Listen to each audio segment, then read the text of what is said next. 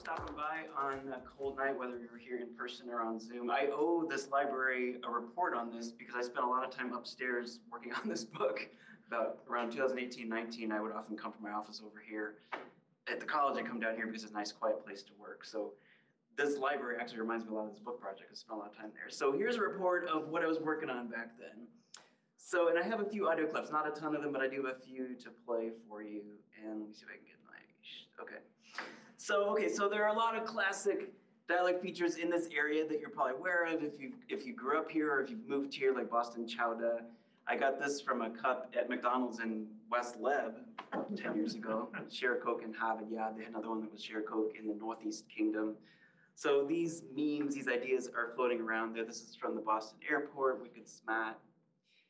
And this is from a news mm-hmm. show in the Boston area about driving. I snapped this picture at the Hooksett rest area. I think it's on 91 or 95.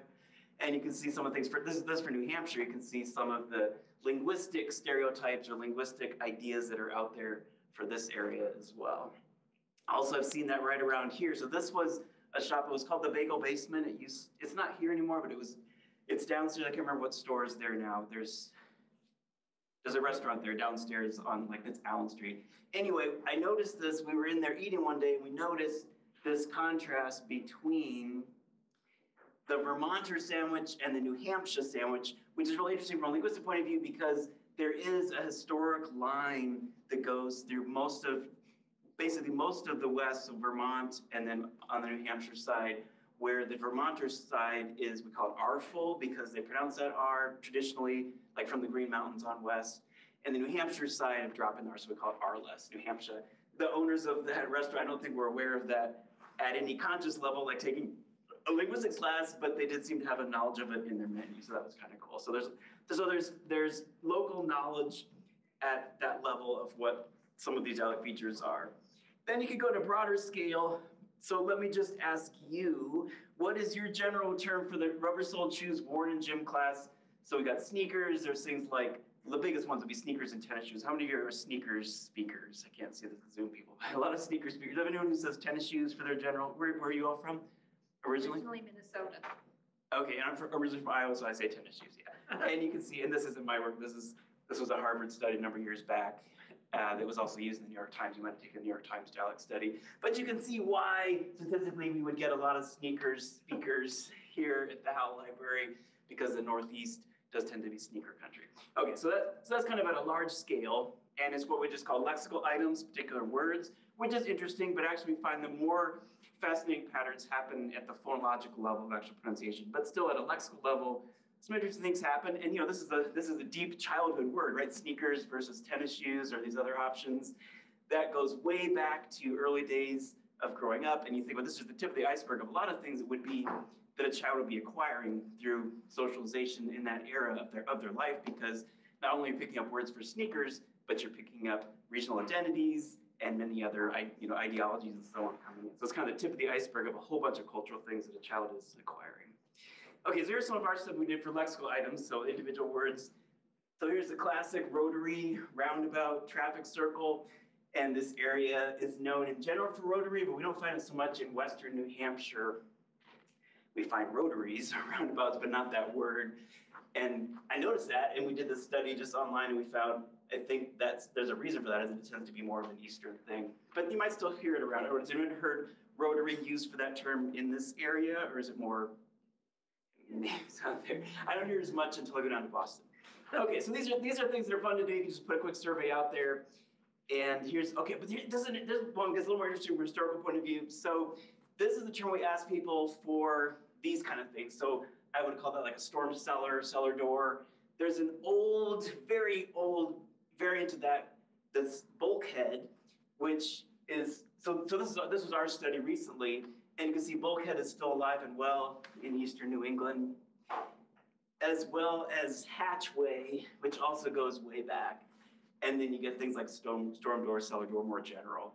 And we, we just focus on Northeast for this study to, to see what that difference is. But linguists find this interesting because this is one of the few words, that, so the, the biggest study of New England English was in the 1930s. It's called the Linguistic Atlas of New England. And they studied about, they went out in person to about 600 people across New England.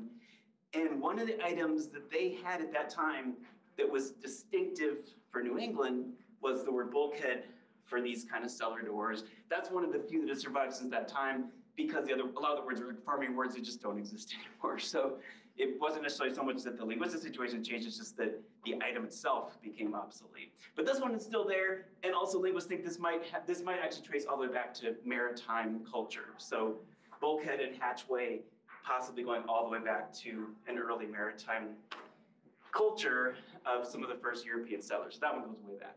There's other ones though that always come, oh yeah, here's the, those are the data. So I can give you these slides if you're interested to look at more detail, but this is from the 1960s. They did another survey and kind of looked at this across the whole US and finding out what things are distinctive. And they found that yeah, bulkhead showed up there as well as a bunch of these other terms. The rotary started to pop up here, and then you get some of these things that are that are very much you know agricultural terms that aren't probably going to survive. I don't have a need to say some of these terms. It's just not part of my life. So those, so the lexical items are really interesting to study. The only trick though is that sometimes the concept itself becomes obsolete. And so, so for example, to spread new mown, mown hay for drying, there are people that do that around here, but not me, so I don't even have that word, so it's not gonna last too long. Okay, so that's one way you can look at dialect features. Here's a couple other examples. When we did our research over in Boston, they often told us that packy is a, we asked people, what are some local words? And then on the basis of that, we go out and do a larger survey. And they said, oh, packy, we all say packy around here for a liquor store. And it did seem to be true to some extent, although actually you find some more farther south if you go farther south. But that one is one that's out there, at least in that kind of the, the core hub area of New England, in Boston area. Then we get to, oh yeah, okay, so let me ask you this one. What is your drink, what is your word for the device in the hallway in school, especially where you get a drink of water? How many of you would say drinking fountain for that. Do we have any water fountain? So I grew up with drinking fountain, water fountain. I understand what you're saying, but it's not the right way I'd say it. Does anyone say bubbler though? All right, where are you from? I'm from south, uh, south of Boston. Awesome. Okay, that bubbler is a classic New England. Do we have any other bubbler speakers? Where are you from? Uh, Nashua. Awesome. But I don't okay. say bubbler anymore. Okay, but like your childhood, kind of your childhood vernacular if you yep. picture yourself in grade school, you'd say, I want to go to the bubbler. Yeah. That's really cool. And, and like I said, it, it, it, comes back to, I don't know how to get rid of that thing there. It comes back to childhood, you know, deep childhood vernacular level where we learn things without even thinking about it. And because for me, growing up in the Midwest, we, we, we wouldn't even know what you were talking about. if someone came to our school and said to go to the bubbler, we would make fun of them. We wouldn't know what that was at all. That's a pretty fascinating one that's out there. These two also, this water fountain tends to go a little farther south or east. So even though those two are almost exactly the same, there's a contrast there too. Here, okay, okay, here's a wider perspective of bubbler. Oh yeah, is the thing about bubbler. So bubbler it does tend to be northeast. This is the Harvard survey, which was also used later in the New York Times. There was a dialect survey about five, six years ago where you could log in and give your answers to these questions, and then it tries to decide where you're from this is the raw data they use for that, and then they've had it learn kind of machine learning to get it more accurate. The interesting thing about Bubbler is it actually pops up again out there in what is that, eastern Wisconsin for whatever reason, something to do with, and we know that a lot of people did migrate over there. I don't think in the colonial era there were water fountains. Are we to picture that? but at least there were connections socially, perhaps, between those two. Okay, so those are some of the things you can do with Lex. It's a lot of fun. We had, oh, here's a couple more I can resist. Okay, Dunkies is another term that Boston people are very sure, they're very proud of because they, I think it's true, they claim that Dunkin' Donuts was started in the Boston area and that this is their word. The thing is, when we did a larger survey, we found out it's kind of not really their word because it goes everywhere, or maybe it's spread, who knows. But they are, they are right that the Massachusetts Bay Area people are going to say Dunkies for that term. Then you get other new things. So, and so that's, that's one that's obviously a new term that's coming up. So these the lexical items often follow the same old dialect boundaries, but now there's new words. There was no such thing as Dunkin' Donuts in the colonial era, but some of these same regions maintain that by picking up new things. Here's one, I don't know how far this one goes back, but Rhode Islanders, you ever had someone from Rhode Island, they'll tell you all, they'll talk to you all day long about coffee milk. I don't even know what it is to this day, but it's something, a sweet drink that Rhode Islanders are very proud of. And you can see in our survey that came out really strong in Rhode Island. And then the Boston people had heard of it, maybe, maybe it's spreading even over there. Okay, those are lexical items. This, oh, this was, this was wicked as an adverb, so wicked good, wicked awesome. Again, that's one that's, that's considered regionalism, and it kind of is. It's spread a lot, even the whole country would say wicked awesome, but it does, but you have, you're gonna see it more often. You see it, you see it in restaurant menus, they'll say wicked cheap, things like that. We had, our- our plumber came to our house and said, it's wicked hot out there today, one time when I was working on this book. So yeah, it's out there, it's out there as a stereotype, but still, it, it does exist and it does have a regional tendency. So that's kind of cool. It tells us something about the way that human beings learn language because all of us are speaking English. We all understand each other, but there's these subtle regional differences that come about, and they often start at that deep childhood learning era. Okay, a couple, a couple more. So these are, this is uh, the sandwich with cold cuts. How many of you would call that a sub sandwich? Does anyone have another word for it, such as hoagie? Where are you from? Outside Philadelphia. Awesome. Okay, this one and this one is so. So this is a green one. That's that's the hoagie area, and I, I do this slide in class, and it's it's it can almost predict it 100. percent They'll be like, "Whole class, no one will raise their hand except one person." I'll say, "Where are you from? Philly, right?" They're like, "Yeah." So that was quite amazing. Uh, then grinder. This is just a slightly older term, but it is New England. Has anyone has, has, have any of you heard the term grinder used for these sandwiches? I mean, do you use it as your main term? Same as bubbler, used to use grinder. Okay, okay, very good. And this would be the outside influence, we would call that like a, the, the influence of a super local dialect, which is kind of sub sandwich, especially because of the restaurant. But your natural, your childhood vernacular was grinder. There's one other term that I've heard. In Greenwich and Stamford, it's a wedge. That I have not heard of. Awesome. So it's the whole sandwich is a wedge. It could be like a foot long My mother-in-law, yeah, Nice. wedge. I will check into that. Very nice. Okay. So yeah, so grinders out there. The younger generation looks at me strange when I mention it because they haven't heard as much, but it's definitely out there. And here's I found it in uh, a this was in like Price Chopper or something down there in West Leb. Grinder rolls. I looked up this this store was from Burlington, so that's a term that's out here. But in the Midwest, nobody would even know what that is referring to. Okay. So those are interesting things to, of study. But as I said, lexical items only take you so far because maybe someday we won't eat sub sandwiches anymore or grinders or whatever you want to call them. And so that word will become obsolete and then the regional contrast becomes obsolete as well, except that it doesn't. What happens is other things come along that same, called an isogloss, that same line between areas. Other things can come into that spot, other words. But we can get a much better view if we look at pronunciation differences. So for this one, Mary, Mary, Mary, for me, those are all exactly the same, but there are I forgot to start my timer, but I'm supposed to stop at seven fifteen, right? About there. Just gonna be flag down. Okay, so Mary, Mary, Mary, this, for me, these are all the same, but for many people, especially in the Northeast, they have a difference, at least in two of them, sometimes three. So, and this was again, this little Dartmouth thing we did online, three dots. The red dots were all three different. So that sounds like Mary, Mary, Mary, I think. It's not my childhood natural vernacular, but that's what they tell me. And those with the red dots, orange dots, people had at least two of them as different. So you can see this is also a big Northeastern thing, especially in Eastern Mass, but then also all across the Mid-Atlantic. But it's one of those, this one's more subtle that people are not aware of as much. But you get like Larry David, and then Larry David show you hear a lot of people from New York, and they'll say Larry. They're, they have that contrast. So this gets into pronunciation differences, phonology, and here's where we can get really detailed. So my original degree in college was physics, and then I switched over to linguistics in grad school. And so I really enjoyed the acoustic analysis aspect of this, but at the end of the day, it's about human beings and culture and communication. So that's why I picked linguistics.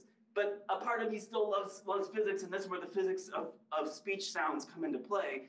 So what we can do is we record people, and then we run it through some computer software, some of which was designed here at Dartmouth, and we can actually look at two resonant frequencies. So this is the word that, this is the a vowel.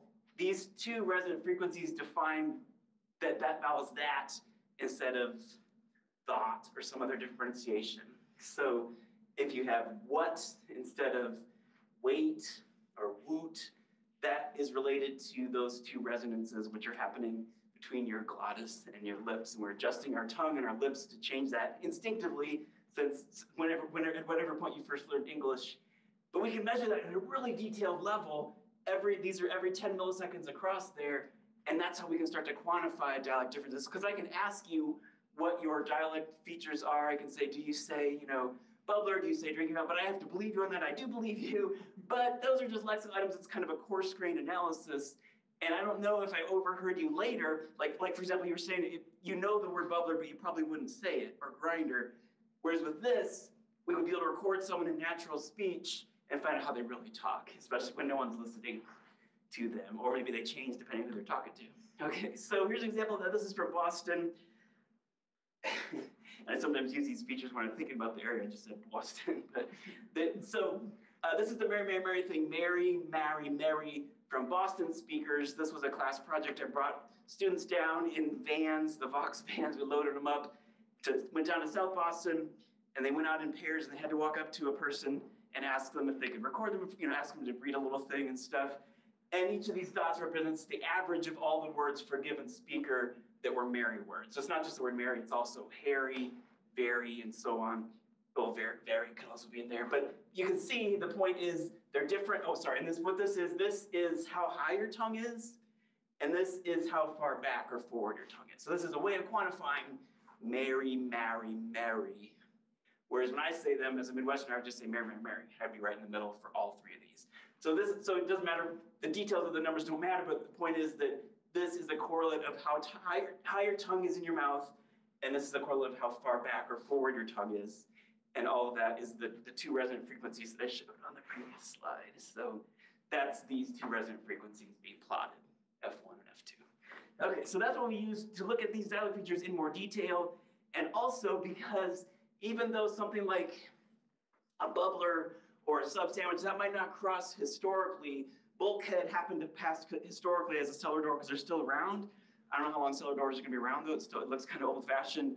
Maybe that won't survive a few more generations, but there will be people using these vowels for many, many generations as long as we keep speaking English around here. So this is something that we kind of grasp onto over longer generational time differences. Okay, so here's one we did.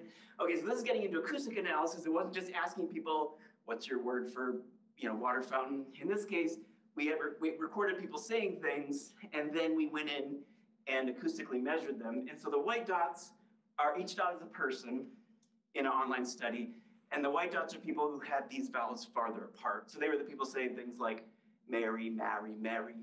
The darker, and the darker the dot is, the more they were close together to be like Mary, Mary, Mary. And this was, uh, this was, and this was a cool study because we found a pretty sharp contrast there going into Eastern Mass and Rhode Island, but also on up in here into the Upper Valley. So the Upper Valley gets a lot of these features as well, which you, which Larry grew up with in this area. So, okay, here's another one. I, am gonna, I'm gonna spend the whole time on these maps if I don't speed myself up, but let me, let me go to this one. Okay, so uh, this is uh, vowels that we call lot and thought, and they represent a whole set of words. So lot words are things like, they're not spelled just like that, but a lot of them are spelled that way. So lot and cot and not, all those kind of words that are the ah vowel, we just call those lot vowels. And then thought is words like caught, ought, haughty. They often have that O-U-G-H-T spelling, but not necessarily because dog also has this sound. So for those of you that are from this area or, or somewhere in, in, New England, that may be unintelligible because they're exactly the same for you, which is, would be that whole red region. So, so a better example is um, C- cot, like C-O-T. I, I slept on a cot and I caught a football. For me, those are different because I'm from the Midwest. Caught, I slept on the cot and I caught a football. But if you're from this area, you most likely don't know what I'm talking about. You're just saying that's the same word, it's just spelled differently, caught and caught. And that's what this study shows. So, so we did the same thing. We didn't ask people. So if we ask someone, do you say caught and caught the same? They'll, they will just say, uh, I don't know, maybe, maybe not. You, you know, you get kind of inaccurate data that way. If you record them though naturally and you just say, we're just interested in how you talk, talk is actually a thought. We're interested in how you talk. So we record them and then they don't know, they know they're being recorded, of course we get consent and all that, but they don't know specifically that we're interested in this really fine-grained dialect difference. So they're not gonna be consciously adjusting that. And yet you still get these, these regional effects. So here, each dot is a person, the white dots are people where caught and caught are farther apart as far as the way they're pronounced, and the dark dots are people where they're basically the same. And so you can see that that's, and so there's a really sharp boundary, and this is where we get back to the colonial era, because these are colonial boundaries. You've got, that's Rhode Island, so the, the, this actual contrast phonetically did not exist at the time that Rhode Island was formed in the sixteen hundreds, but it was a very sharp social contrast when, when Rhode Island, you know, you know, they were, they were, they were kicked out of, or they, you know, had to, had to leave the, the Massachusetts Bay Colony, move down to Rhode Island. That created a social contrast, which today still lives on linguistically, even though these states are really tiny and really close to each other. And I've seen that on other maps, and I didn't really believe it, because I thought, well, maybe they just recorded a few people, and then the researcher kind of imagined that that might be true. Like, oh yeah, my my aunt's from Rhode Island, and she says caught and caught. And I got a friend from Massachusetts, he says caught and caught the same. Maybe there's a boundary difference there, right between historically those two colonies. I wasn't really sure if I should believe that or not, but now I do. Okay, so Boston is messy. That's a big, huge urban metropolitan area, right? But if you look at here, there really is a contrast because these people that recorded had no idea what we were studying. They consented to be studied for linguistic purposes, but they didn't know we were studying these particular vowels. And yet that contrast comes in there, and then you do statistical smoothing, you can see it even sharper. This is just a smooth version of this data. So yeah, Boston's a little bit messy, but still, when you smooth it out, you get these people are merged, and the Connecticut Rhode Islanders aren't. And then if you go to New York, you get the extreme version of like coffee talk. That's the extreme of really far apart. So that's a pretty cool thing that popped up in our research. And like I said, I, I people always said that there was a really sharp boundary, but I didn't really believe it. Now I do because I know that we just asked people to record this, and I was just sitting there in my office in my laptop, and the data was coming in, and we plotted it, and there it was. So that's pretty exciting to see that. And this, again, would date all the way back to the European colonial era, even though at that time, both sides actually pronounced these vowels differently as far as we can tell from other research. But the social boundary continues, and whenever there's a social boundary or physical boundary, like a mountain or something, you're likely to get a contrast. So we do have a physical boundary along the the, the Green Mountains, and that's a bit of what's happening there as well. So physical or social boundary is likely to do this. Okay, okay, so so with New England English, yeah, so I this is my 15th or 16th year at Dartmouth, and after I've been here a couple years, my, a lot of my research is in China, but I was thinking there's a lot of really interesting dialects around here. And here in my day job, I'm teaching a lot of students, and we're we're living in this area. It'd be cool if we went out and did some research, maybe just as a quick little class project. That quick little class project turned into a 10-year study. I did it over and over again with classes. I loaned them my car. They drove all over the place. We used Vox vans from the Dartmouth. Uh, you could rent these Vox vans there's some funding to drive them down to Boston. Recently, I had a trip down to Western Mass. Really fun class projects where it's hands-on, and then they come back and they have to take their own data and analyze all these vowels. We ended up going all the way, it's a really cool area to study though, as I discovered, because it's huge. It's 15 million people, but also there's a contrast between you know, rural and urban, as you know, just living in this area, and yet physically it's a huge region as well, 72 million square miles. So could we could we ever find a way to kind of synthesize all that together and get a sense of what's happening? Obviously, each of the 15 million people has their own story. They're from different places. They are not considered people. We have no idea on those sorts of things. But could we statistically get a general sense of what's happening with these dialect features? And I think that we do have a pretty good sense now after looking it over for 10 years. And some of this goes back to the history of even going back to the turnpike era. So the first turnpikes were 1796, radiating outward from Boston. And this, this, this, so this, this also, this has a lot to do with the continuing influence of Boston linguistically, but also socioeconomically and politically and so on. But also, if you just try to drive across New England, the, the, you're, you're under the influence of these historical turnpikes as well, because for example, we had a reason we wanted to go up into northern Maine. You can't get there from here, right? It's really hard. You have to go all the way down and up. That's because of the turnpike system. It's radiated outward. As you know, if you ever try to go from like here over there, you can't. You got to go down and up. That's going all the way back to the turnpike system. But also, it's the Boston influence socially, but also linguistically on this whole region. Going back even a little farther, we have what we call the founder effect, which is the idea that the first settlers in a region who speak a given language often set up regional and social boundaries that live on for generations after them. And that's exactly what's happened around here. So you had England, so you had English settlers coming from Southeast England in the colonial era and settling in these regions, which we became Arless regions or non-rhotic. Arless regions, so this is Arless like New Hampshire versus New Hampshire, the Vermonter sandwich versus the New Hampshire sandwich. You could also call this Artful RLS, all means the same thing. These speakers that moved, that, that you know, were colonizing this area, when they arrived, they were historically undergoing change toward our Eng- English was undergoing change so that the Arliss version, New Hampshire, was becoming more prestigious in the London area around the time of, of, of these early settlements. So, you know, 1600s on into early 1700s. But by the by the end of the 18th century, it was settled that the Arlissness was a prestige variant in London, and these areas picked up on that, and they they they followed that pronunciation difference. Whereas deeper regions were R-full. So the Midwest is R-full. You know, Western New York is R-full, but New York City historically at least was New York. But then now that's becoming less prestigious. You know, historically you'd have you know Charleston, South Carolina as being R-less. That's all changing. It's also changing Boston, as our research shows. But it has this historical root to it. Then going even deeper, then of course you had all of these Native American groups that were here at the time. We do have a good number of borrowed words, fortunately, so these, a lot of these languages are being uh, restored. So I have a colleague who's learning her heritage language, Wampanoag. But also they live on through the place name. So Massachusetts was the name, Massachusetts was the name of a tribe. So Massachusetts people, then that becomes a state name. You got Winooski, still a place, there's just a few of them. So those, so the, the people and their words live on through our place names and also through some lexical items. It's harder to trace a direct link in the pronunciation of English because it's not in English. But lexical items, you can find that to some extent.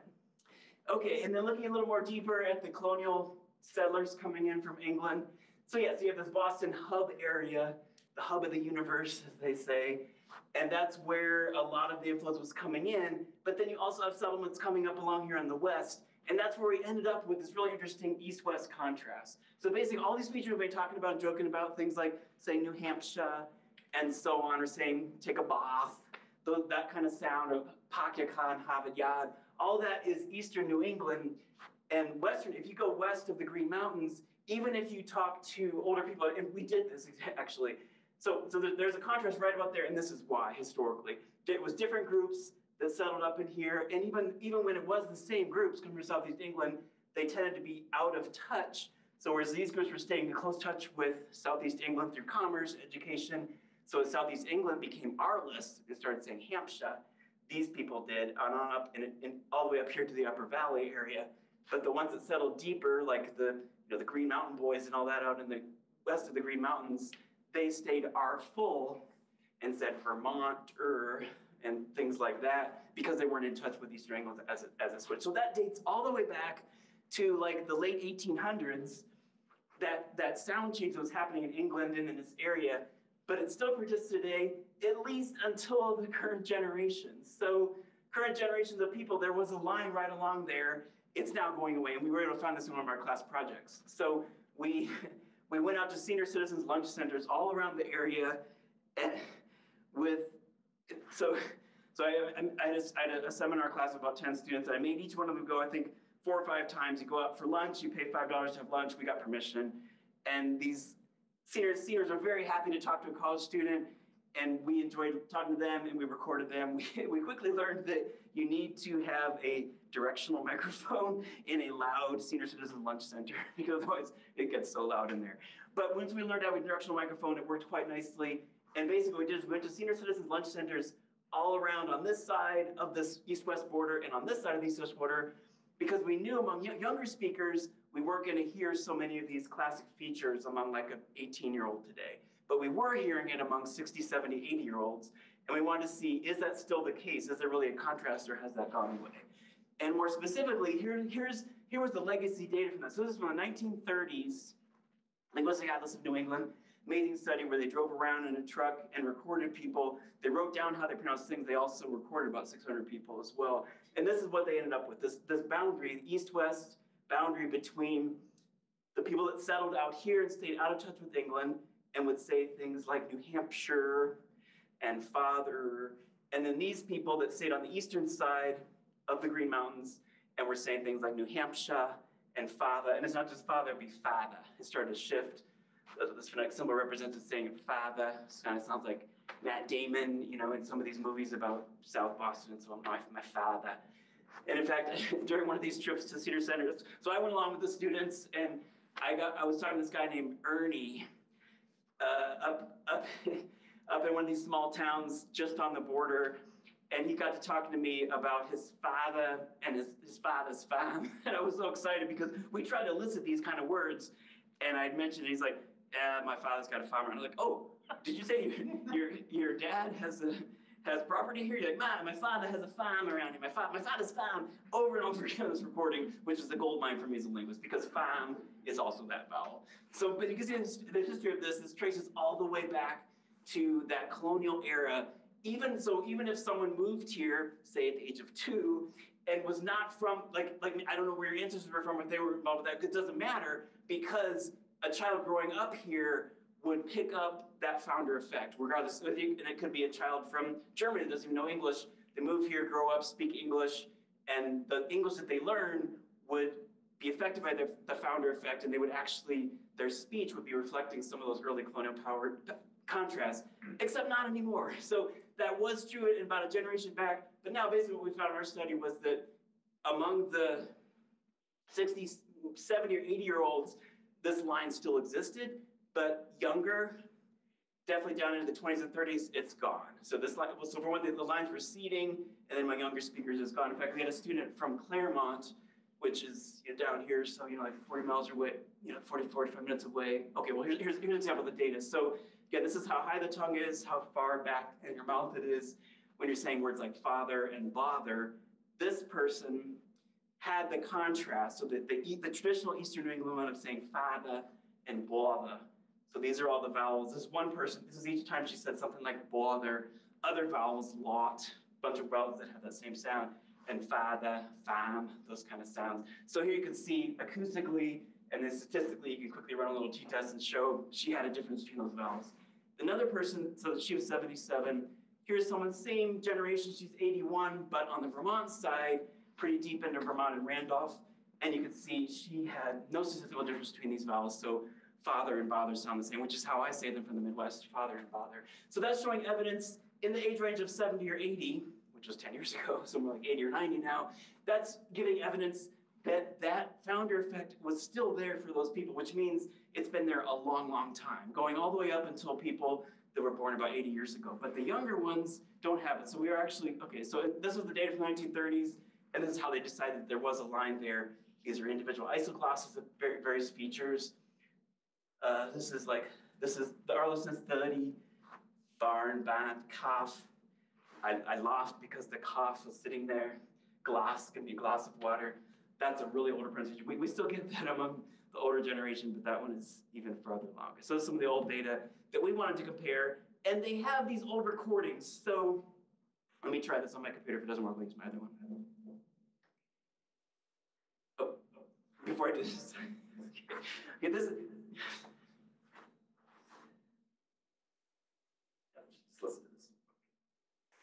something I don't understand. Uh, what is it?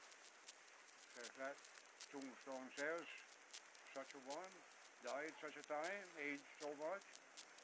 And then it says under there, a lawyer and an honest man. That means there's two in there. Says, why did they bury two in one grave? That's some. Okay, so that is a lawyer joke from the 1930s, but it's basically the voice of a person born in 1840. I don't think you hear the joke, but he's basically saying that the, a lawyer is buried there, and the signs, the, the tombstone says, buried here is a lawyer and an honest man. He says, how could there be two people buried in one grave because a lawyer could be an honest man? So he himself was a lawyer, but he's 90 years old when they recorded him. You can hear how crackly that was. Not a good quality recording, but we were still able to get the vowel resonance frequencies I put some students through some very difficult days of, listening to that really carefully and trying to get every single syllable and make these measurements, even though it's all staticky. But it paid off. It was really fascinating to see acoustically.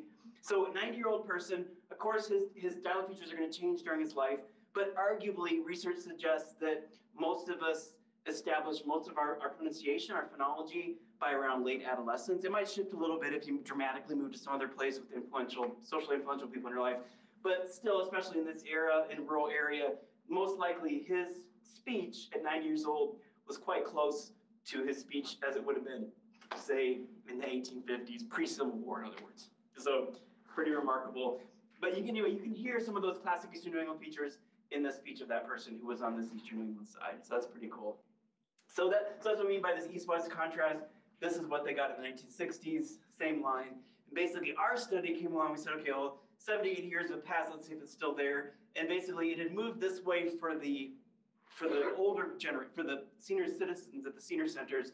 For the younger speakers, it's just being wiped out. New things are coming in, though dialects, so don't despair, dialects don't just vanish. What happens is new things come in. We have some new features coming in, like people saying mountain instead of mountain, fountain. There's that sound that's coming in across a lot of places in the US. There's some new vowel shifts that are kind of under the level of awareness that are out there that are emerging. So it's not, it's not that there aren't distinctive things out there, but the things that are most, you know, kind of stereotyped that we think about or talk about, you know, you see on a street sign about, you know, use Yablinka, those kind, of the features that are being represented there are actually fading away due to super local pressure and things like bubbler and grinder for the same kind of reason. Okay, so this is just listing out some of my colleagues' work. I can show you this later in more detail. There was a big study in 2006 using long distance telephone. Each of these dots is a single person. That's quite good, but still it's not too many dots represented there. So that's why we had these class projects 10 years ago to try to add a little more richness to this data set. So that's what we're trying to figure out. What's the current status of these traditional England features? And are there long scale features, a long scale changes underway? And we found, yes, there are. And, okay, okay. And I, and I, I, I live in West Leb and I would, I, I heard, I, when I was working on my lawnmower, my neighbor came over and said, you need a new spark plug. So that is the Harvard Yard kind of sound. The interesting thing is, it, he's about, he's probably late 60s, but the kids on that same street are saying spark plugs. They're not saying spark plugs at all. A kid came over to play with my son who was nine. This is like 10 or 15 years ago. He played with my son 15 years ago. And he was in our house. He said, oh, Do you want to play down cellar? and my son, who's from more of a Midwestern pronunciation of everything, he said, What? What do you mean? Do you mean the basement? And that other kid never said down cellar again. So this is the super, super regional pressure that comes upon people who have the more distinctive version. Even though, because I'm a linguist, like, oh, you can say down cellar. That's a cool term for it. That's great. But he meet that other kid who was from, who's a local kid, figured out that must be a local way to say it, and he never said down cellar again. so that way, I could actually see the super regional mixing happening right in my own home when a kid came to play with my son. So, so those features out there, but the younger generation is not saying spark plugs anymore. They're saying spark plugs, and I hear it on my own street. So that's that's out there.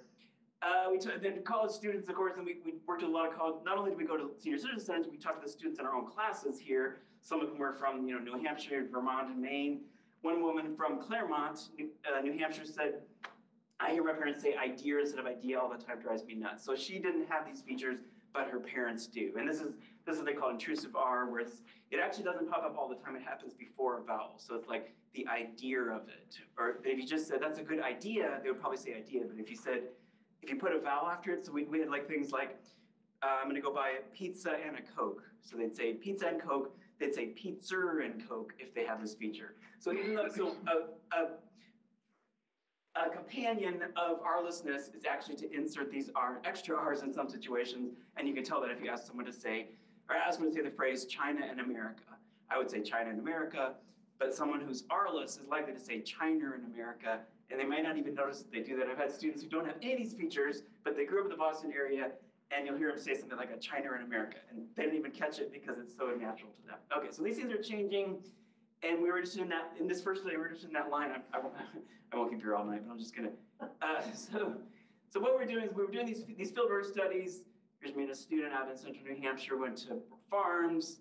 Seniors, we had one nice interview just in a barn with a horse, which was fun. Town squares all over the place. But we also went down to South Boston, so we were on the street talking about parking problems and so on. Pack, get a lot of nice uh, words for that. Here's an example of a speaker from central New Hampshire. I think if I turn this off, it'll work. It appear to be unpleasant. New Englanders have many ways of keeping warm. When asked the question, how do you make it through winter up there? In fact, snow is part of the allure of New England, and many of us enjoy skiing and participating in other winter sports. Okay, so there's a lot of these classic features, the R-lessness, the, the shift in some of these vowels, and so on. That was a speaker in about in his 50s from for our Central New Hampshire study.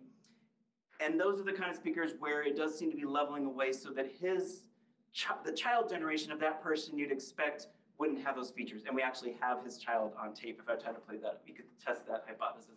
But these are a bunch of the studies that we did, just kind of going all over the place. These were just class projects, just trying to think of things to keep the class interesting. So, okay, so tomorrow we're going to load up in a bunch of cars and go record people, and they enjoyed that.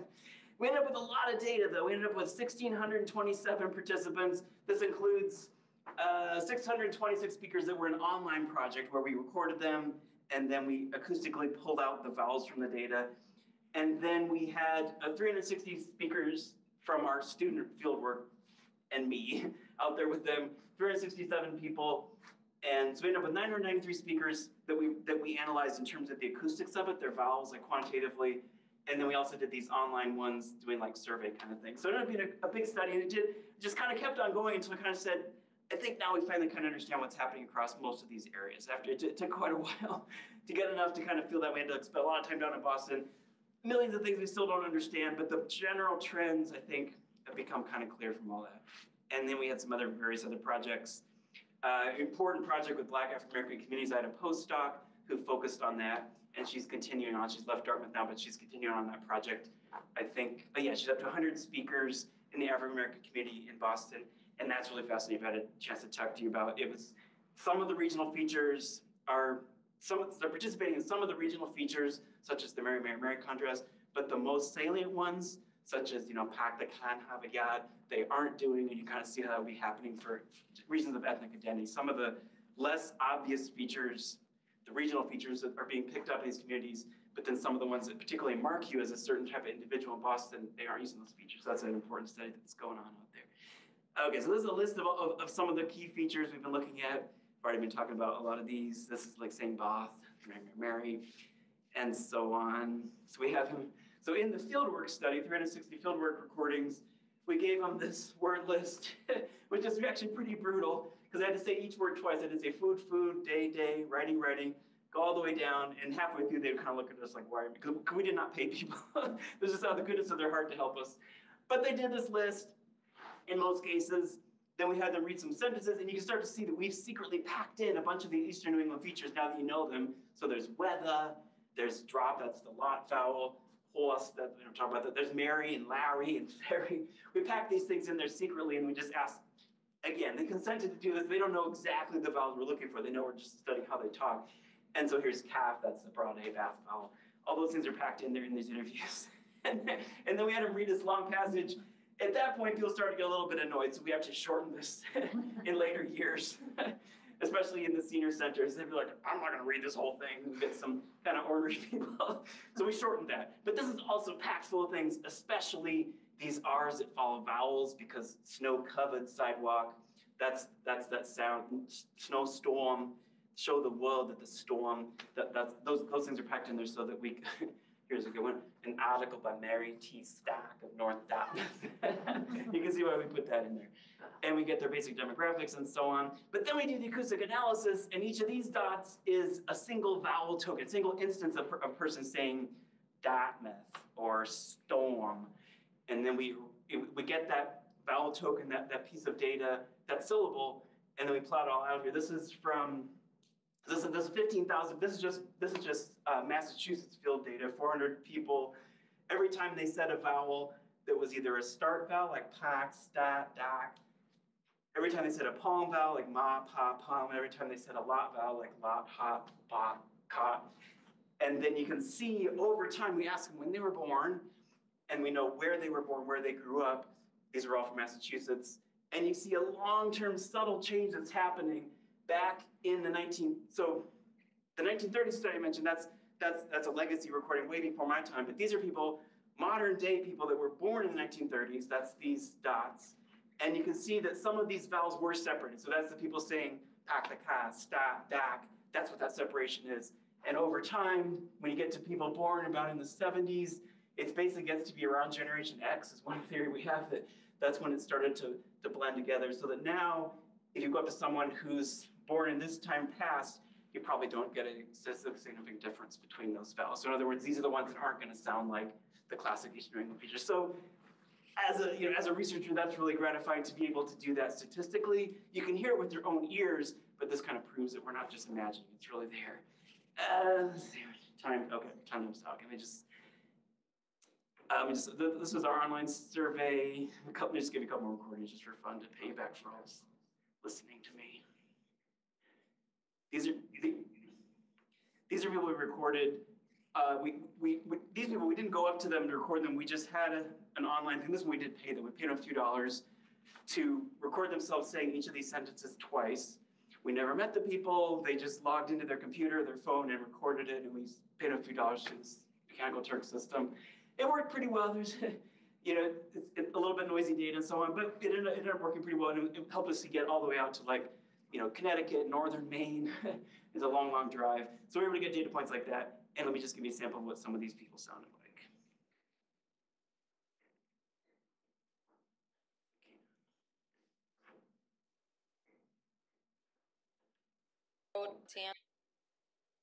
More time.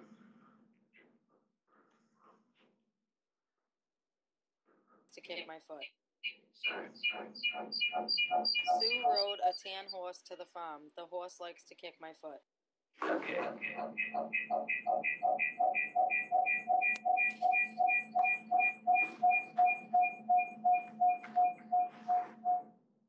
This is, this is the last one. Just, by the way, the word tan is also a feature we haven't had time to talk about, but there's tad versus tan as a local feature. It's less well known, but she had that. Sue wrote a tan horse to the farm. Okay, one more here. I get that thing to start. My father sometimes hides his boots by the road in the park. Okay, that was worth the wait to hear that guy. Okay. Okay, so there, so there you go. Uh, and, that, and that was a guy from the Boston area. Okay. So anyway, we were able to get a whole bunch of this data just sitting quietly in our offices over at Dartmouth. And that was kind of cool. Like I said, the data was kind of messy, both in terms of the noise just from their, you know, we, we couldn't control what kind of microphone they're using and all that. And also some people didn't read it correctly or they read too fast and so on. But still we were able to get some pretty cool data sets without even leaving. So here's the, here's the, this is, we divide this by self-identified male versus female. And each of these is a single syllable of a, of a vowel spoken by, so we end up with, yes, 342 self-identified female speakers, 284 self-identified male speakers, ended up with over 100,000 individual syllables that we could crunch together. And that was, that was pretty cool to be able to do that without having to, I still believe going out and doing the actual field work is, is the most important thing because then you find out culturally what's happening. You get to know people, you find out many things you couldn't this way still it's pretty cool to be able to just do it from the and and we have the system that we that I set up with another postdoc who where you can actually upload a recording. You could do this, upload a recording of yourself, and it will plot out. It it it does all this analysis for you and ends up with a vowel plot of your vowels, how high your tongue is, how far back your tongue is. Uh, it takes a little more than that, maybe a, a quick version of it doesn't get, it, will it'll produce it, but you might need to record yourself for a couple hours to get a good sample. Anyway, we've used that system to be able to get that giant data set. So we're trying to, to archive that. We're just trying to get like a, a contrast between large scale studies like this, where it's just kind of all on the computer and people are recording themselves, compared to small scale studies where we actually talk to people directly. And so, and just the last thing I'll put here. So, we, okay, uh, basically, but on this large scale thing, we've been able to combine a whole bunch of these data sets and variables and kind of show where is Eastern New England, where is Western New England. This is kind of cool. This is like thousands of individual syllables, five different features, and you kind of start to see this area is actually a little bit stronger even than the Manchester area. There's some theories that they want to separate themselves from Boston. They call it like Taxachusetts and the massholes and all that. There's those attitudes toward Boston down there that may be reflected culturally and linguistically why it's a little bit not quite as dark. Whereas up here, among the older people at least, you have some pretty strong Eastern New England features. So that, that can get at a large scale, which is cool. But what I find though is that when we do individual fieldwork, in this case, each dot is a person, this is the drop off becoming our full speech across all of northeastern New England. And so that is something that we can see with individuals that we actually met. So both, both of these approaches can be valuable. And the last thing is, oh yeah, I promise you I'll give you this sample. This is this is the, the same, this is the guy in Central New Hampshire who's 46 years old. I'll give you sample him again. Then I'm gonna play his daughter and then his aunt. So here you can see the generational change, which is in progress. And I'll stop with this. Although our winters might appear to be unpleasant, New Englanders have many ways of keeping warm. When asked the question, how do you make it through winter up there? Many natives assure newcomers not to fear that they will be cold aboard. In fact, snow is part of the allure of New England Although our winters might appear to be unpleasant, New Englanders have many ways of keeping warm. When asked the question, how do you make it through the winter up there, many natives assure newcomers not to fear that they will be cold or bored. In fact, snow is part of the allure of New England, and Okay, so you can see there's a sharp contrast. That's his own daughter, literally. We, our students met him in a hardware store that he owned, and then he said, "Oh, you should record my daughter too." And we came back another time. So you can see that's a sharp generation contrast, even though she was living in the same home. Because see, it's not just about who you're talking to; it's who you identify with. Then you might say, "Well, maybe it's a gender difference because that's a man and his daughter." We weren't able to record his wife, but here's the aunt. So same generation as the father. That's the last thing just to show that it's not, so she's actually gonna pattern like the older generations, it's not a gender issue in this case. appear to be unpleasant, New Englanders have many ways of keeping warm.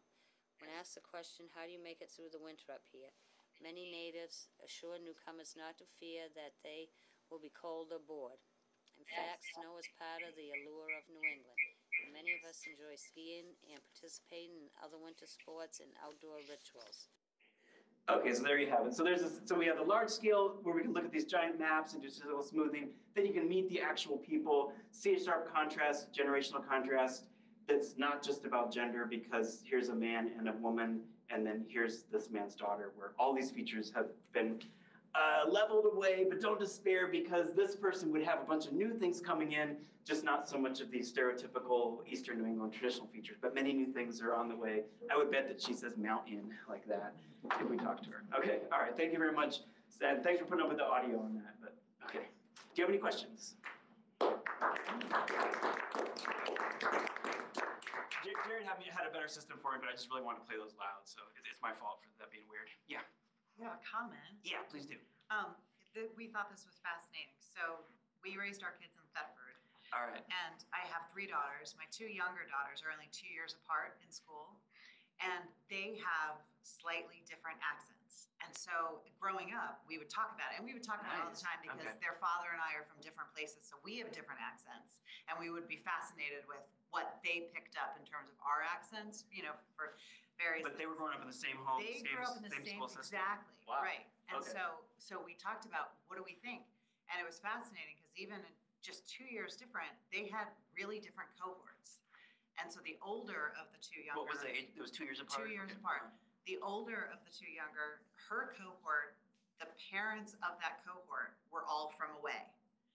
Like pretty much right down. They were not from here. Wow, The okay. parents of the Uh-huh. cohort of the younger, they were all multi-generational, Vermont, New Hampshire, and pretty much in just this area, not really Nice. going maybe two, three hours, but Okay. really pretty much they're multi-generational. And so the cohorts of the two daughters, different ways of speaking, and they picked it up. It was fascinating. That's really cool. Yeah, it was Yeah, and- really neat. And Thetford's a great place to study that because, Yeah. like we're saying, Hanover's kind of a bubble because people from all over the place coming and Mhm. going. But you get out to Thetford, it's, it's still people from all over the place, Yeah. but, but a little smaller. Yep. That's really cool. Yeah, Yeah. and that's why this has been such a fascinating topic to study during this generation where it's changing. Because if you went back a generation before, those kids would, no matter where they came from, they probably would have grown up with Eastern New England features. But now they're in this transition stage, so that you, you yeah, it would make sense. Like the features are getting weaker, so they're going to be influenced by more subtle things, even if it's different. So like the parents were influencing that cohort of kids, Yeah. and not the other ones. Yeah. Mhm. Yeah, that's cool. So it's like there's there's sort of a there's there's a strong super regional influence to have these stereotypical features go away, but in some pockets they're still there. And we we, we, we had a student that, that did some did an anthropological study of a maple sugar farm up north of, of 10 or 20 miles. And she found that within a family that she found like two brothers, one was different than the other. Uh-huh. So one, because he had gone into the military, people made fun of him for the way he talked, and the other brother stayed home. So yes, you get those, and that- that's exactly why I want to study a transitional time period. So yeah, that would be a whole like master's project to study those kids and figure out how it switched. By, by the way, we also interact with school teachers sometimes. We had a a school teacher, a colleague of mine told him that his kid's school teacher, I think it was I think it was like Plainfield School around here maybe. One of my colleagues at Dartmouth said that his school teacher said that some of the youngest kids would spell words in an R-less way. So door, they spelled as Doa, D-O-A-H. the youngest one's like around first grade in this area. But then, oh, but then over, over a couple more years, it was gone. They were all saying door. But it was even coming out in their spelling at a really young age. I don't think that would happen so much in Hanover because it's just much more of a melting pot. But but yeah, but that's the last generation to find that around here. What's cool though is that right now that's about what's happening like in Southie and Charlestown and Dorchester, those kind of places. That's where we should go study that effect because that's where it'd be. It, wouldn't find around here, but we would find it down there because there are still really young kids that would would be saying things like Doa, Doa, and spelling it that way. Also, this can be socioeconomic as well. So you can also, which is also the reason why we don't look at Hanover too much for regional dialect features. If I didn't have time to look at this, but we call it social stratification of sociolinguistics, so that lower social classes tend to have more regional features than higher social classes. So you would tend to hear more of these things out in farming country, which is why we did that. And then within the Boston area, you'd hear it more in a working class area like Southie than you would say in downtown Boston. So, so social class plays a role as well as these things change. Sorry, did you have another comment or question? Uh, we have a couple of questions from. Oh, on Zoom, okay, yeah, go for it. Um, Kate says, about super regional pressure, my father grew up in South Dakota speaking one way and tried in vain to instill it in me, who grew up here in the Upper Valley. For example, he coached me to say the Plains coyote instead of the New England coyote. Do people typically defend the pronunciations of their upbringing pretty fiercely? yeah, and it, and it depends on what we believe, what level of prestige we believe our pronunciation, our upbringing had, right? So I had my my dad grew up in rural Texas. My mom grew up in a more highly educated family in Ohio, and so I grew up with the impression that speaking like her was a more prestigious or the correct way to speak, as opposed to my dad, because he didn't he looked down on his own way of speaking, and then he shifted to another pronunciation. So yeah, basically, I'd say it, it comes from what it's sort of the ideology of what we believe about a, a style of speaking. So for whatever reason, he felt like coyote was somehow wrong and wanted to shift that would be my guess. Although if it's just a lexical item, coyote and coyote, that could just come down to personal preference. But if it's something with pronunciation differences, I'd say we have this instinctive impression of what's the more prestigious way to pronounce it, like such as New Hampshire versus New Hampshire, and then that starts to shift. But actually, what we find in linguistics is that is not wrong. It's just different. None of these none of these ways of speaking is better in any objective way. We can look at, you know, I just said it's, it's a matter of where your tongue is located in your mouth. So if, if someone says pack the car and I mean those are beloved ways of speaking in Boston. People love the Boston accent. The people that have it, they say, I know I speak this way and I like it. But still, there are things that are it, it gets associated with some different social groups within an area.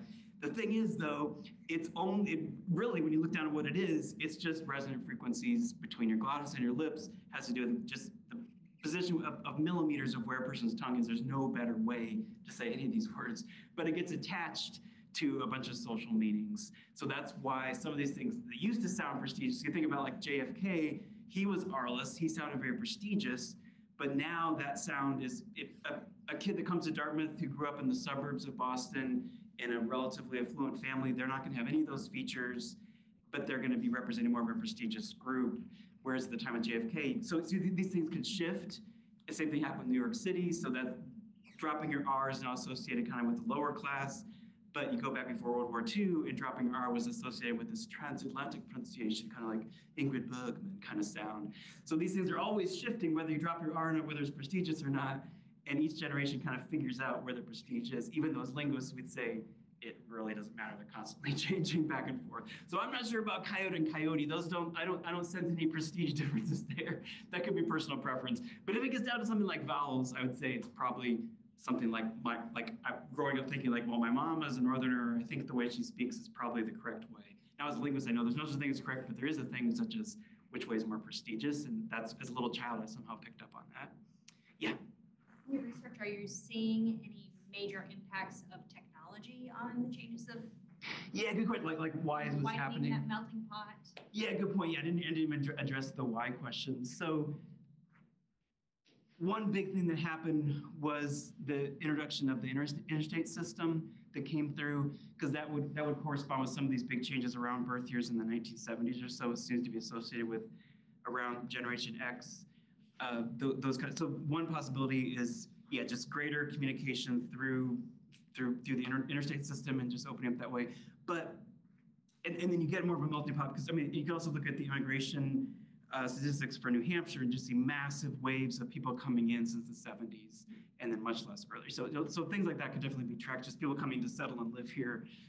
However, just mass media itself, we don't think it has as strong an effect as we as we might expect that it did. So it's true that if you turn on certain, you know, most broadcast news stations, you hear one way of speaking. So it's, it's sort of a quote standard northern kind of style. They're not likely to say things like the things we've been talking about today. They're not going to say pak tak ha. But what we find though is that you get communities such as New York City that listen to the same news shows, but they are using their pronunciation based on their social groups. So I wouldn't say that mass media is just homogenizing everything, and it's because of because of the internet and radio and you know talking in chat groups and all that that that's why dialects these features are going away. We don't seem to see that so I think I think it's more of a longer term thing. well, basically what we think is it's it's face to face interaction. It's people moving in. So yeah, so there was there was a lot more movement up. You know, we, our our response we call them flatlanders and flatlanders and and Massachusetts and negative attitudes for the people that, that have moved up in here. They use those terms because they're seeing new people coming in, and those new people bring in different values and different pronunciations. But it looks like just turning on a TV and watching it or listening to some show doesn't influence our, our, our speech for the most part. And my personal theory is because we're not interacting with that person, you're just, you're just watching it. Whereas if I sit down and talk to one of you, our, our vowels are going to adjust subtly, even unconsciously, just while we're talking. And that's happening with human beings everywhere because it's a face-to-face interaction. Maybe as technology gets even better, better, and we're all wearing these Vision Pro things. I don't know. Maybe at that point, it'll be real enough that we'll actually start to adjust our pronunciation. But as far as we can tell, it, you just it, it has to be something where people actually are living in the same region and influencing each other, as far as we can tell. Does that answer your question? I so. I don't know if that's A lot of what it is. Okay, yeah, but yeah, we, we think it's things like that of, of just, of, of just greater mobility, change in lifestyles, you know, these rural lifestyles have faded a great deal all over the country, and so people are less isolated. Yeah, but like I said, new features are always coming in, and the way it works is that the ones that people are aware of at a conscious level, like pack the car, they're less likely to use that feature unless they have just this real value to, you know, be viewed as, you know, as a, as a down east up in Maine or someone in Southie. If they don't have a, a reason to, to project that identity, they might, they might level those things away. But the thing is, a lot of features are below the level of awareness, and that's why dialects are not dying out. They're just coming in in more subtle ways. And then those will be there for a while, and then they'll start to, when people notice those, like I said, mountain, fountain, eh, people in my generation, that sounds sounds a little quote wrong. I would say mountain, not mountain, but it's very strong in younger generations. It's at some point people are gonna start noticing that in the media, and then it might start to fade or might get stronger. So th- those things are always rotating around. It's just a matter of whether we notice there. And one other thing about that, there's a really cool thing happening. So pak the ka and stat, that kind of vowel. The thing is, there are two variables in there. There's the vowel, so it's it, so okay, so so so there's whether you drop the R or not. So let's say the word start. If I'm in New York City and I'm from a certain background, I might say stat. If I was in Boston and from also from a similar socioeconomic background, I might say stat. So both people drop their R, stat, and stat, but stat is the Boston one. It's, it's more of a fronted vowel, the, the, the tongue slightly farther forward. So words like that have two variables. Dark. So a, a, a New Yorker who's R-less would say like a dark night. A Boston person who's R-less would say a dark night. Slight difference, but they know that at an unconscious level they can recognize each other. But also what happens is up here in the upper valley, what we find is younger people like in their 20s, and I didn't have time to show you this study, but people in their 20s are becoming artful, and that's not even a social class thing. It's whether they're a Dartmouth student or didn't go to college at all or whatever. All the kids growing up around this area that we've ever worked with are or had connection to are, are pronouncing their R's. The thing is though, they because because that's more a prestigious form now for this youngest generation, but they are still using the traditional vowel pronunciation. So for example, the word dark or park, traditional Boston would be pack and dack, but people around here, a 20 year old, you'd hear them saying things like dark, park. So it's the, the, the tongue is still fronted. The vowel is actually the traditional form, but they don't realize it. So I say it's under their hair. They don't realize they're trying to avoid these stereotype features of maybe their grandfather or something, But what they don't realize, so, I- and I used to hang out at Kmart to hear this on purpose. Hang out by the check register, people say, Kmart, I'm at Kmart, I can't start my car. That, that's a classic local, like twenties or thirties something person. They, they, they probably believe that their pronunciation is just like anyone from all over the country because they're pronouncing their R, Kmart. But actually, they're fronting it like an old timer that would say Kmat. So it's an interesting little, little effect that's out there. Like the, it's, it's not wrong, it's just different, there's different ways of speaking. But that one I find fascinating because you can see how they're leveling out a stereotypical feature of dropping the R, but they're not aware that there's also uh, this very subtle perception of whether you say Kmart or Kmart. So yeah, so if you, if you hang out at Kmart, that's a really good place to pick that one up. Yeah. Oh, we lost Kmart. That's right. This was back in the day. Yeah. Uh, Elizabeth on Zoom asks, have you come across the regional word dooryard, meaning front yard driveway? Nice. I'm, I'm from Conway, New Hampshire, and when I said it to my husband from Hingham, Mass, so both eastern New England, he had no idea what I was talking about. We did some digging, and it seems regional to northern New Hampshire and Maine. Now it's proudly my most niche word. Just wondering if it came up in your research. Awesome. Yeah, that's great. We need to study it. We we we heard it an, a little bit, but not enough to add it to our actual survey. But since then, I, I keep hearing it. I need to do a regional study. I would love to. Yeah, that, that's my impression because that it, that it may that it's, it's New England, but it may be a little more northern, but we don't know yet. We have to check it out. So that's great. Yeah, that's a classic because I would not even know what that is until someone told me dooryard. I still need them to actually show me on their house what that means. So like the, that little front area. So yeah, it needs to be studied. I I can't imagine it wouldn't be in Boston, but maybe it's not as much as it is farther north. Needs to be studied. That's a good project. You don't have it. No, um, you used to hear that particularly at planning boards or wherever, where a local person was up against a developer.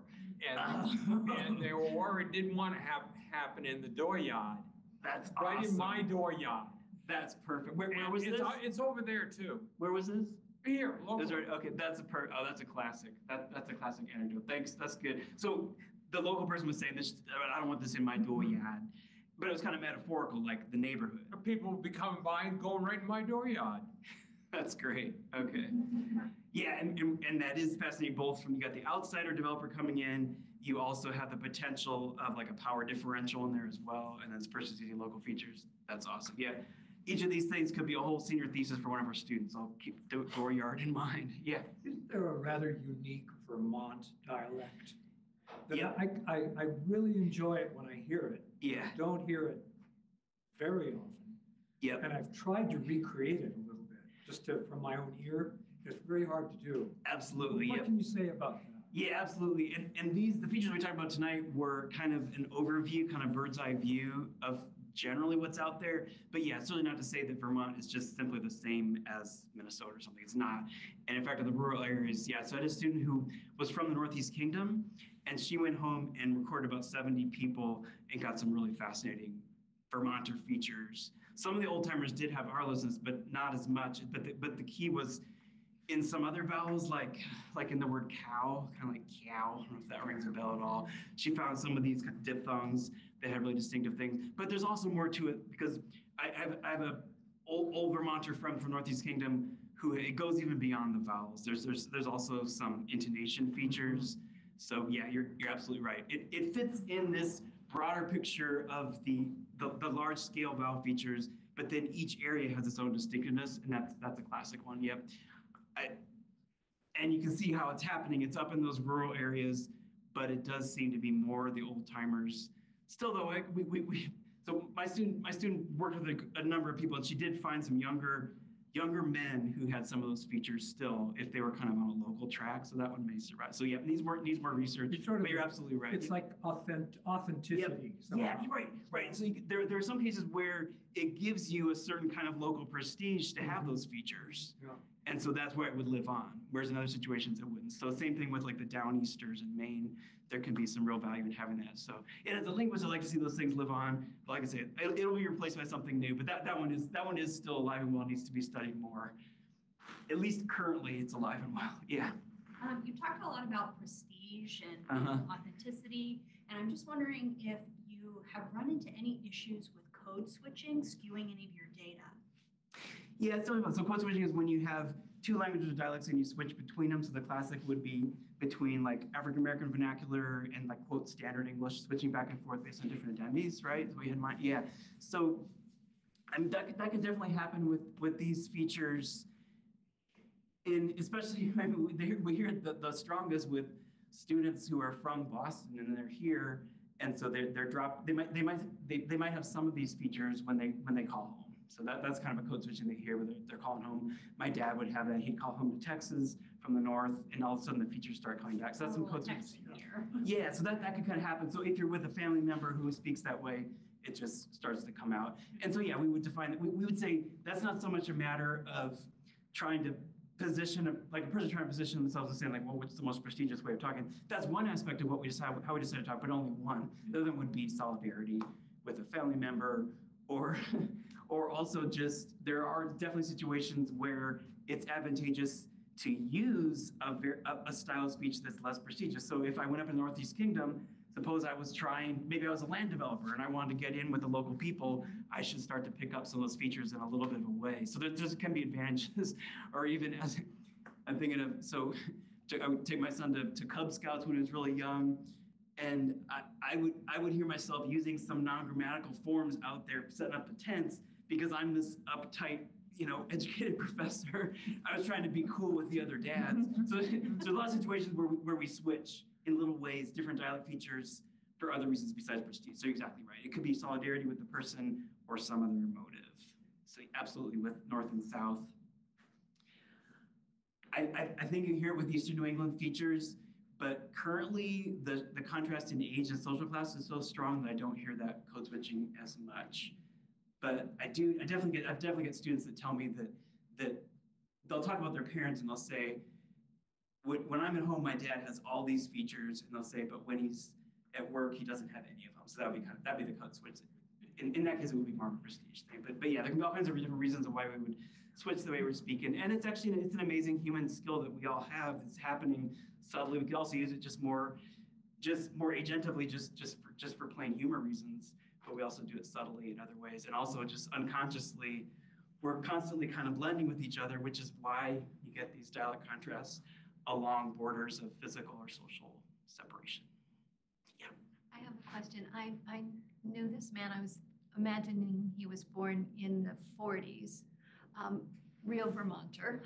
And he would talk about her or him in conversations without ever introducing who he was talking about. And I found it so peculiar. And at one point, he said, the boy. And so I started to think that I could identify the he as the boy. Oh, it's interesting, but the story would just kind of start out with the pronoun. They would start out and they would not, yeah, and I was so confused trying to understand him with his Vermont dialect that I couldn't even ask any questions because it was so confusing. Have you ever Uh, had that? I haven't read into that. I'll keep it, I'll keep an eye out for that. That's very Yeah. interesting. Yeah. I mean, I could imagine kind of where it might come from a, a, a local custom of kind of having topics that everyone's so aware of that you don't have to do a preamble. But I don't know. Yeah, I've never heard that. I'd like to listen for that. That was in the Northeast Kingdom area or? No, Chelsea. Chelsea, okay. Yeah. Okay, good to know.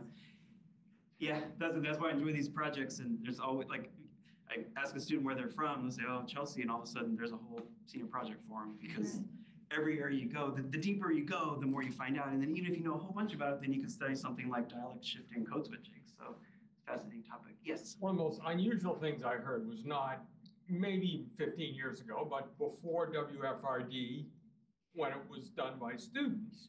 Uh-huh. Presumably, the new students would learn from the old students on pronunciation. And again, I heard someone say that something was happening in Norwich.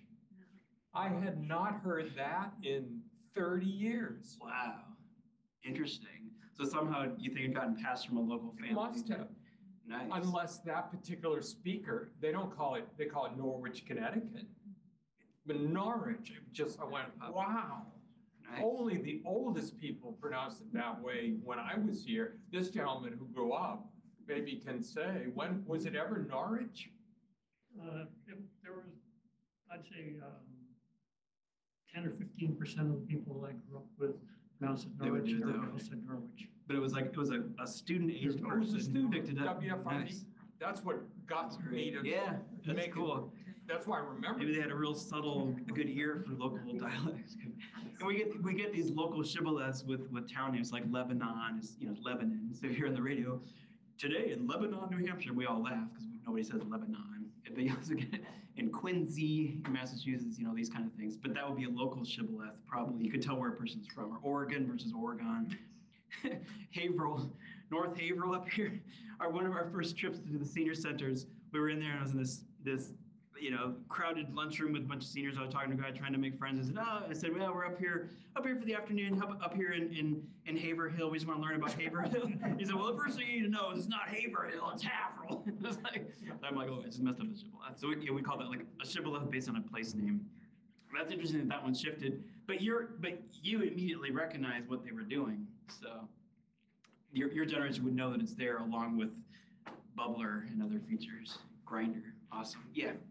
Did the Wisconsin folks say bubbler or bubbler? Oh, I don't know. Are, are you aware of a distinction? Bubbler. Where are you from?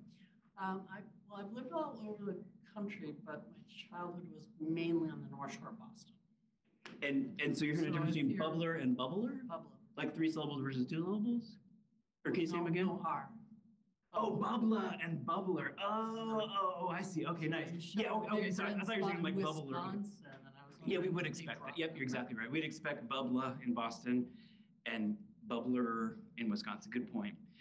The thing is that because it's a lexical item, it could carry on to new generation. I bet that the 20 year olds in Boston are saying bubbler, but the older ones would have been saying bubbler. So I, I would guess that the R-lessness is following that generational change. But yeah, that'd be a cool thing to study. I'd be quite shocked if Wisconsin people were saying bubbler. that would because because and the reason is because that's a single lexical item, a single word. Whereas whether you pronounce your R or not is more systemic across all of your pronunciation. So you wouldn't expect listeners to just appear in a single word. That's always fascinating how words um, drop out of favor. I mean, I grew up in the seventies, so I remember in around nineteen ninety asking a boss, I lived in um, Burbank, California. My Mhm. boss was from Michigan, and I asked Okay. him for some elastics. And he had no idea I was talking about. Is it, is it, nowadays, I would probably say rubber band. okay, I was say, yeah, that was my Or- best guess, but I don't know like that term. Tonic. for Tonic, soda. nice. Right, I right. probably wouldn't say that. but it Very probably nice. is Totally different.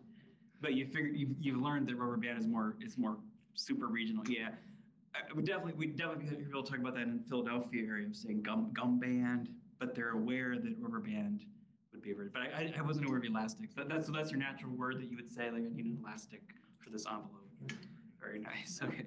Yeah. So lexical items are lots of fun. That's why I started with that tonight.